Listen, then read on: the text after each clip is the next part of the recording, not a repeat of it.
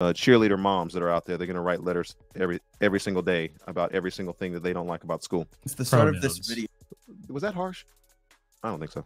Yeah, there's like probably a hundred. Yeah, new- new ones. Yeah, yeah, exactly. So yeah. how do we approach that? Well, I want to just give some really simple principles for approaching this topic. Three simple principles Mhm. that I think will guide us in this in this Okay. topic. Okay, The first principle is to love your neighbor. That is the first Okay. principle for everybody. Can I just go ahead and say I don't know how that dinged like there was, you know, right on time, but can I affirm since we're affirming things on the show today? I want to affirm that the first principle is loving your neighbor. Very simple principle. But be careful when you're dealing with someone who is, you know, demanding this. Don't just treat the person as if they are a political debate.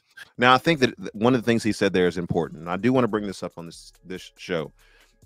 Um, the the race stuff was that was a joke, but kind of not. There's some cultural things that you know may may factor in, but they're like hundred on the list of like 99 other things would come before that.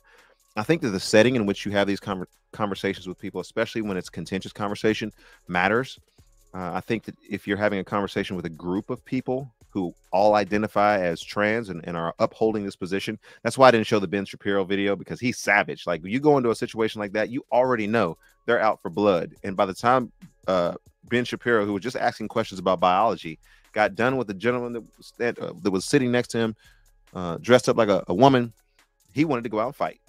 And uh, I'm not trying to spark that kind of conversation, but I do think that in a one-on-one situation, you can be a lot more bold in this particular setting where I have my own show and I say whatever the heck that I want to say.